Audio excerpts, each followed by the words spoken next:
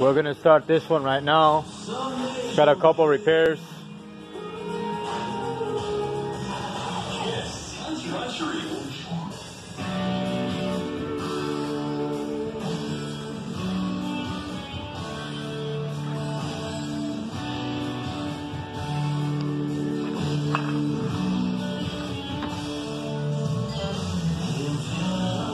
Got a big fat repair right there. That went straight through. We need to figure out a way to get back um, to the backside, but we have no access, so we're gonna have to create a backer.